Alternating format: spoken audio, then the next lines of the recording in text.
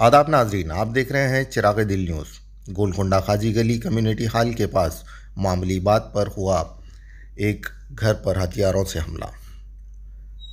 गलियों में बैठकर बेकारी के चबूतरे गर्म करने वालों की सरगर्मियाँ। बच्चों को घर के पास गुरूस बनाकर बैठने पर किया एतराज़ तो हुआ एक घर पर हथियारों से हमला। गोलकुंडा पुलिस ने किया केस रजिस्टर। हैदराबाद के तकरीबन इलाक़ों का हाल यही है। कुछ गैंग्स गलियों में नशे की हालत में गैर ज़रूरी दूसरों के घरों के पास अड्डा बनाकर परेशान कर रहे हैं।